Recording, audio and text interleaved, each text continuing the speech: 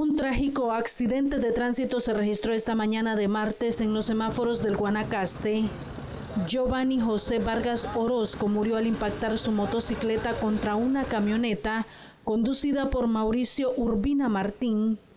Testigos se contradicen sobre quién fue el causante. El brother se tiró el alto del crucero. El muchacho venía de, de norte a sur. La camioneta se dirigía de, de oeste a este. Eh, de repente parece que el muchacho se tiró la roja imprudentemente y se dio el, accidente, pues, pegó, colisionaron ahí y lamentablemente cuando nosotros venimos, pues quisimos ayudarle a él, en quererlo ayudar, pues, pero ya fue demasiado imposible falleció.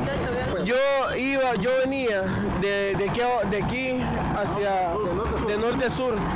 El motorizado viene atrás el de la camioneta roja se tiró la luz roja. Él viene del lado, viene, viene hacia este lado.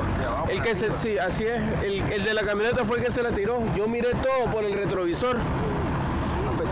El de la, estaba en rojo el semáforo para la camioneta roja. El muchacho venía en su preferencia. Yo viene atrás de mí. Yo me, me llevó el susto cuando oigo el impacto. Yo creí que me había dado a mí, pero no. Cuando miro que es motorizado que lo viene arrastrando. Lamentablemente las muertes por accidente van en aumento. Respetar las señales es obligación de todos y así conserva su vida y la de otros conductores.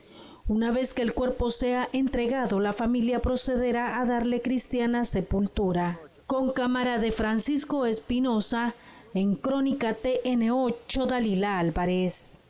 Sigue informándose en www.tn8.tv las 24 horas del día.